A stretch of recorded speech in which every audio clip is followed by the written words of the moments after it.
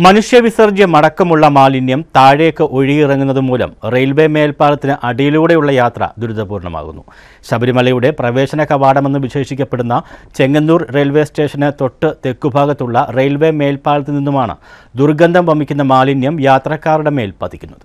പുലിയൂർ മാന്നാർ മാവേലിക്കര ഭാഗത്തേക്ക് പോകുന്ന M K റോഡിന് മുകളിലായാണ് മേൽപ്പാലം. അതിന് കീഴെയുള്ള അടിപ്പാത നഗരപ്രദേശത്തെ മറ്റു റോഡുകളെ അപേക്ഷിച്ച് ഏറ്റവും തിരക്കേറിയതാണ്.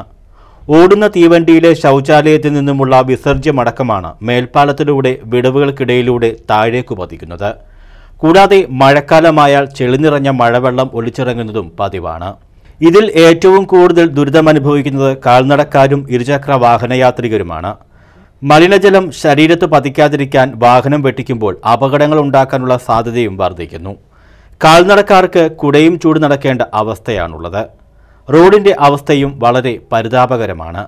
പാലത്തിന്റെ അടിയിലെ ഇടനാഴിയിൽ പാകിയ ടൈൽസ് ഇളകിക്കിടക്കുന്നതിനാൽ വെള്ളക്കെട്ടും രൂപപ്പെട്ടിട്ടുണ്ട്. ഇടനാഴിയിലെ സഞ്ചാരപാത താഴ്ന്നാണ് കിടക്കുന്നത്. ഓടയുമില്ല. ഇതുകാരണം വെള്ളം പുറത്തേക്ക് ഒഴുകി മാറാനും തടസ്സമുണ്ട്.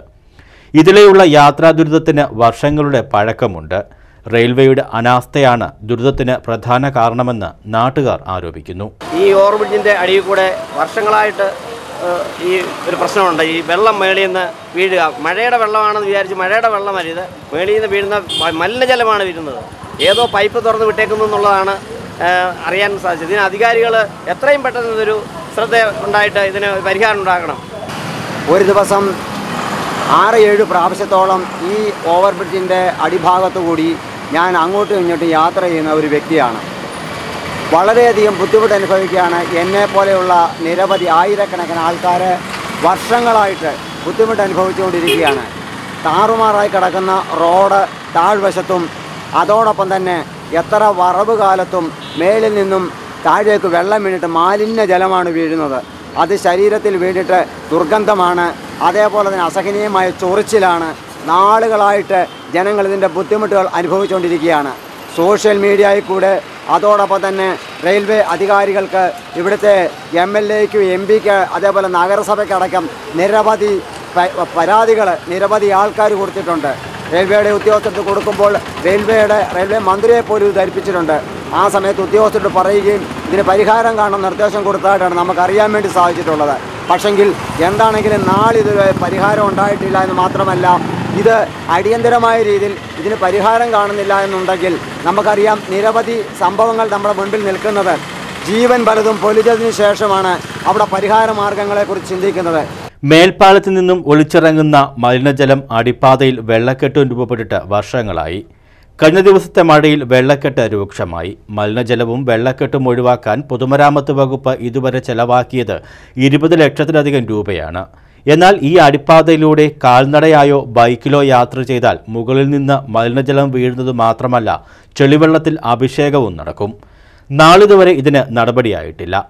റെയിൽവേയുടെ നിസ്സഹകരണം പ്രതിസന്ധി സൃഷ്ടിക്കുന്നു. ചെറിയ മഴയ്ക്ക് തന്നെ ഇവിടെ വെള്ളം മുട്ടോളം ഉയരും. നിരത്തിൽ കോൺക്രീറ്റ് കട്ടകൾ പാകിയും വശങ്ങളിലെ ഓടയുടെ ദ്വാരം വലുതാക്കിയും പണികൾ ഏറെ നടത്തി.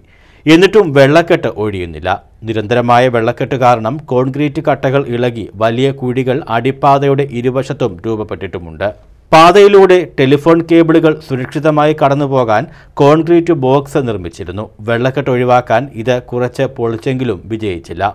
അടിപ്പാത റോഡ് നിരപ്പാക്കി സമീപത്തെ തോട്ടിലേക്ക് വെള്ളം ഒഴുക്കിക്കളയാൻ മൂന്ന് വർഷം മുമ്പ് പൊതുമരാമത്ത് വകുപ്പ് പദ്ധതി തയ്യാറാക്കിയിരുന്നു. റെയിൽവേയുടെ അനുമതി തേടി കത്തെഴുതിയെങ്കിലും മറുപടിയൊന്നും ലഭിച്ചില്ലെന്ന് പൊതുമരാമത്ത് വകുപ്പ് അധികൃതർ പറയുന്നു.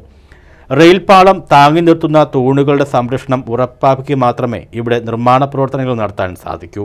അതിനാൽ അടിപ്പാതയിലെ നിർമ്മാണ പ്രവർത്തനങ്ങൾക്ക് റെയിൽവേ അനുമതി നിർബന്ധമാണ്. റെയിൽവേയുടെയും പൊതുമരാമത്ത് വകുപ്പിന്റെയും എഞ്ചിനീയറിംഗ് വിഭാഗങ്ങൾ ചേർന്ന് പദ്ധതി തയ്യാറാക്കി നടപ്പാക്കിയാൽ വെള്ളക്കെട്ടിനും മാലിന്യ അഭിഷേകത്തിനും പരിഹാരമാകും. ഇതിന് ബന്ധപ്പെട്ടവർ ആരും തന്നെ മുൻകൈ എടുക്കുന്നില്ലെന്ന ആക്ഷേപവും പരാതിയും വ്യാപകമാണ്. News bureau Chengannur.